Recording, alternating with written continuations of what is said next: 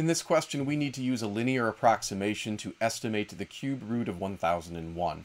To help us understand this method, it's going to be useful to graph the problem. Now, to graph a problem, we would need a particular function, and the basic trick for finding your function is to imagine that you take the number underneath the radical, or in this case the cube root, and replace it with an x. So basically what we're going to do is consider the graph of the function f of x is equal to the cube root of x.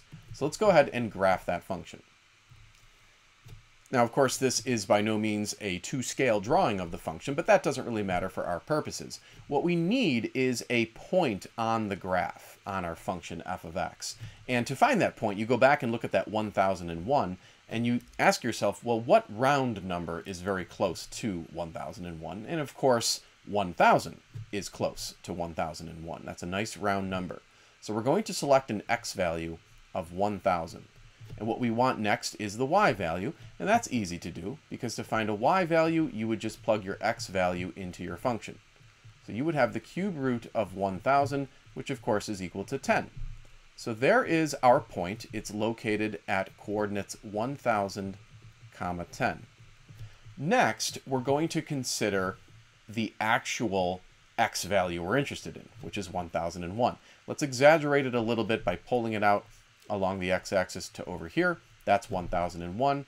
If we were to plug 1001 into our function, we would end up with the cube root of 1001. And that's the value that we're trying to estimate. And now here comes the key insight. What we will do is actually look at this tangent line that is tangent to the curve at 1000 comma 10. Now imagine taking 1001 and plugging it into that tangent line. So you would end up with a point right there. And if you slide over horizontally to the y-axis, the y value of that point would land right there in green. Look at how close that y value is to the cube root of 1001. It's very close. So what we'll do, and here comes the punchline, we will find the equation of this tangent line. Once we have it, we'll plug 1001 into that equation, we'll slide over, we'll get the y value, and that y value will be very close to the cube root of 1001. So on to our goal, finding the equation of that yellow tangent line. We know that the line is tangent to our function f of x is equal to the cube root of x. Let's just go ahead and rewrite the cube root of x as x to the one-third. Now, to find the equation of a tangent line, you need the slope of the tangent line. So you would need the derivative here. So we're going to go ahead and calculate f prime of x using a power rule. The power rule says we can just move this power in front and then subtract 1 from the original power, which would give us negative 2 thirds. So there is our derivative.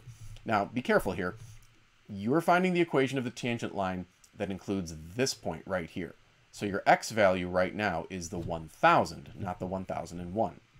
So you would do f prime of 1000. And this would equal 1 third times 1000 to the negative 2 thirds. Negative exponents are a little dicey to work with, so let's rewrite it. Let's reciprocate it. You would have 1 over 1000 to the positive 2 thirds. We'll take an aside and evaluate 1000 to the positive 2 thirds. Remember, that would be equivalent to the cube root of 1,000, and then all of that raised to the power of 2. The cube root of 1,000 is 10, and then 10 squared would be 100. So going back to our problem here, we would have 1 third multiplied by 1 over 100. And then finishing simplifying, we would have 1 over 300.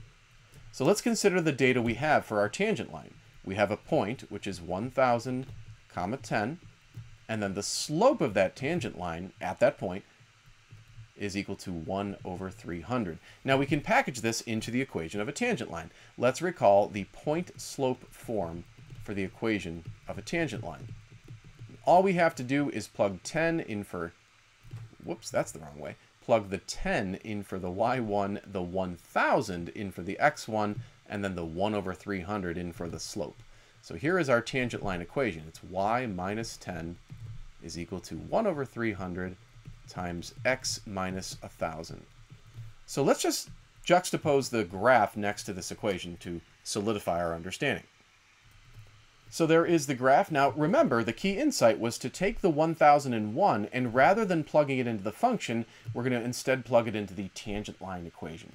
So you're now taking this 1001 and plugging it in right there, and that's going to give you the y value of that blue point, that point on the tangent line, and that y value is so close to the cube root of 1001 that it will serve as a good estimate. So here we go. We're going to have y minus 10 is equal to the 1 over 300, and then we're plugging in 1001 at long last, minus 1000. In the parentheses, you'll see that that's just equal to 1, so you have 1 over 300 times 1, which is 1 over 300. And then finally, just add 10 to both sides. You get 1 over 300 plus 10 over 1. Maybe we'll find a common denominator. Multiply top and bottom here by 300. Whoa, that was fun. Not sure what happened there. So now we have y is equal to 1 over 300 plus 3,000 over 300. Interesting. And then we add the numerators and we get 3001 over 300. That will serve as an approximation to the cube root. There it goes again. To the cube root of 1001. Now, interestingly, this is our answer here, but interestingly, if you punch these into a calculator, 3001 divided by 300 is 10.00 with a bunch of threes repeating forever.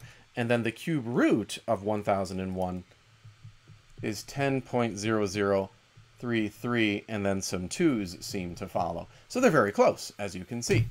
Your final answer would be this fraction right here. That is the linear approximation to the cube root of 1001.